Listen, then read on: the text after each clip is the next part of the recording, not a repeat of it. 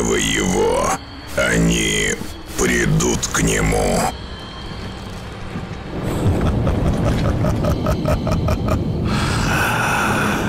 И от дыхания его они погибнут. Камелот. Камелот. Камелот. Камелот. В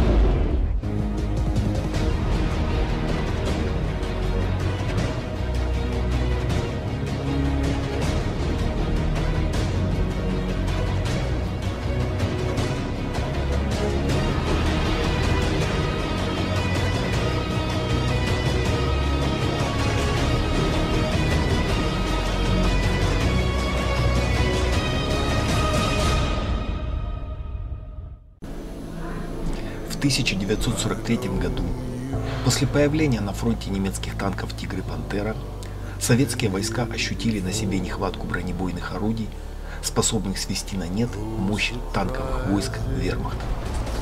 Созданные ранее самоходные установки Су-85 уже не оказывали столь сокрушающего эффекта.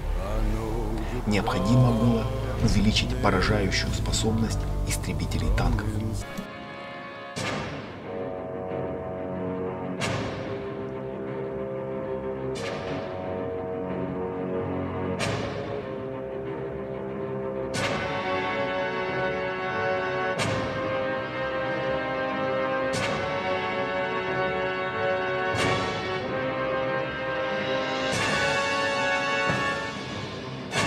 Танки против танков. Железный кулак.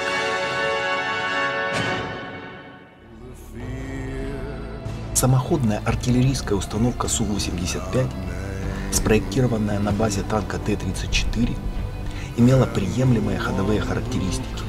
Но, кроме недостатков по калибру и поражающей способности, были и другие конструктивные недоработки. Например, такие, как слабый обзор и отсутствие хорошей вентиляции внутреннего пространства от пороховых газов. Все эти и другие недочеты решено было исправить в новой самоходно-артиллерийской установке Су-100. Ширина корпуса осталась без изменений. Слегка увеличилась общая длина САУ за счет установки более длинного орудия. И теперь она составляла 9450 мм. Высота самоходки уменьшилась на 200 мм, что могло сыграть положительную роль обнаружения и поражения ее врагом. При этом снижение профиля машины никак не повлияло на клиренс. Он по-прежнему составлял 400 мм. И это позволяло преодолевать брод глубиной почти в полтора метра и ров в два с половиной метра. Что касается бронирования, то лобовая броня была увеличена с 45 до 75 мм с углом наклона в 55 градусов. А толщина маски орудия в разных местах варьировалась от 40 до 110 мм вместо стандартных 60 у Су-85. Из внешних отличий стоит отметить создание командирской башенки с пятью перископическими прицелами типа МК-4 кругового обзора и двух вентиляционных отверстий, оснащенных вентиляторами для вытяжки пороховых газов из кабины. Мощность 12-цилиндрового V-образного дизельного двигателя с жидкостным охлаждением составляла 520 лошадиных сил.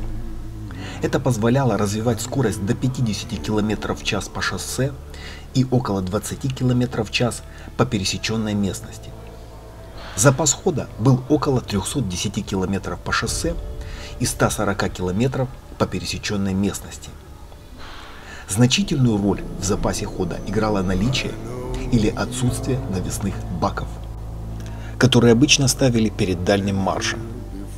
Самым же главным изменением в конструкции была установка измененного 100-мм корабельного орудия Д-10 с нарезным стволом, способным поражать лобовую броню большинства германских танков и САУ. Д-10С пробивала лобовую броню Тигра и Пантеры, включая верхнюю лобовую плиту последней на дистанции 1500 метров, превосходя расчетные возможности орудия. Для ближней самообороны САУ комплектовалась двумя пистолетами-пулеметами ППШ-41 калибра 7,62 мм, 1420 патронами к ним в 20-дисковых магазинах, четырьмя противотанковыми гранатами и 24 ручными противопехотными осколочными гранатами оборонительного типа F1. В годы Великой Отечественной войны Су-100 иногда в полевых условиях дополнительно оснащалась ручными пулеметами. Но штатной такая конфигурация не была.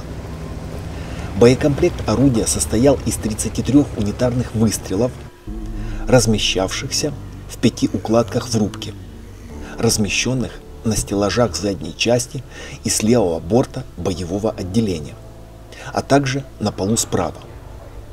В годы Великой Отечественной войны в боекомплект орудия входили выстрелы с остроголовыми и тупоголовыми калиберными бронебойными, осколочными и осколочно-фугасными снарядами.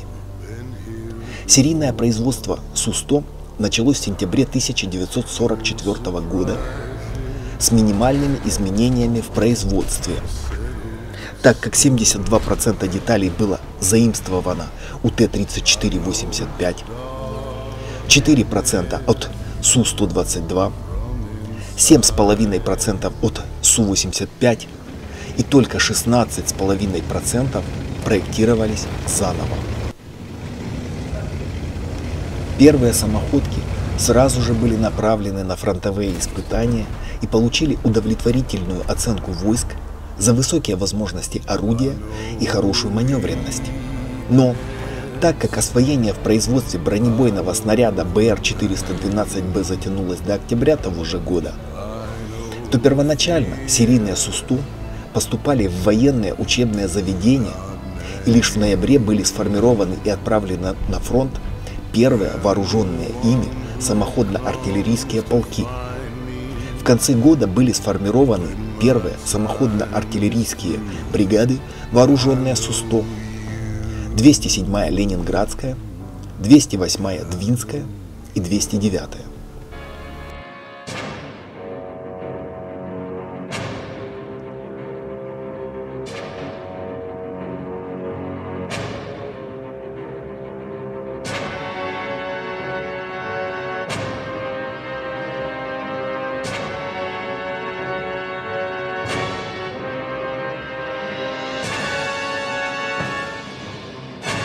Танки против танков. Железный кулак.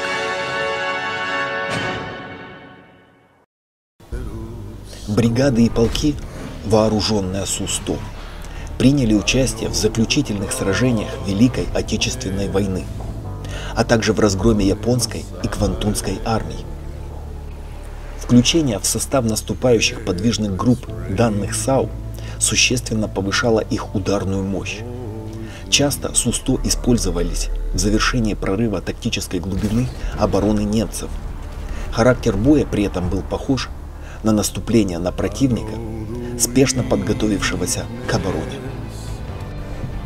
Подготовка наступления занимала ограниченные сроки или не проводилась вовсе. Впрочем, самоходкам Су-100 довелось не только наступать. В марте 1945 года они приняли участие в оборонительных боях у озера Балатон. Здесь в составе войск 3-го Украинского фронта с 6 по 16 марта они участвовали в отражении контрудара 6-й армии СС. Все три сформированные в декабре 1944 года бригады, вооруженные Су-100, были привлечены для отражения контрудара.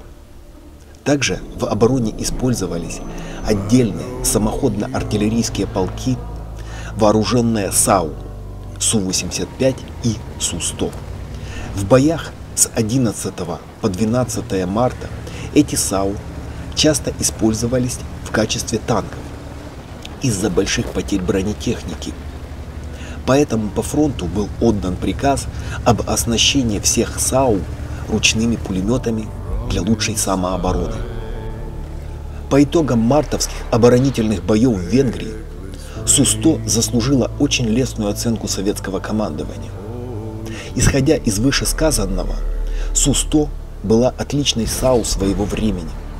Конечно, со своими достоинствами и недостатками. Например, длинный ствол зачастую мешал преодолевать глубокие рвы и канавы. Это плата за убойное орудие, плюсы которого с легкостью перекрывают все минусы.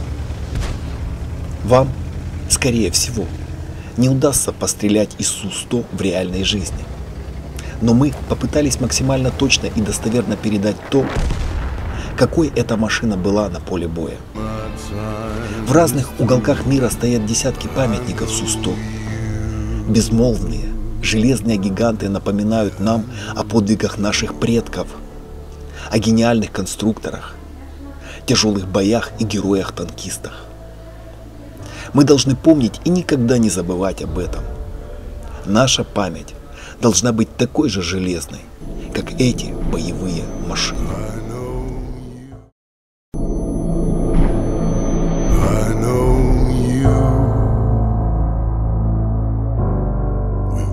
Here before. No surprises.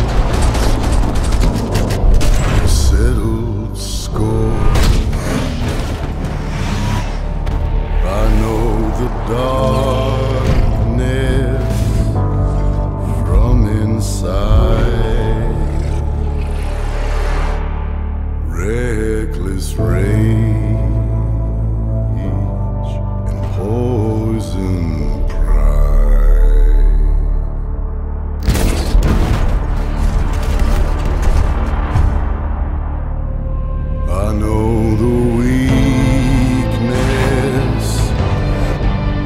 Know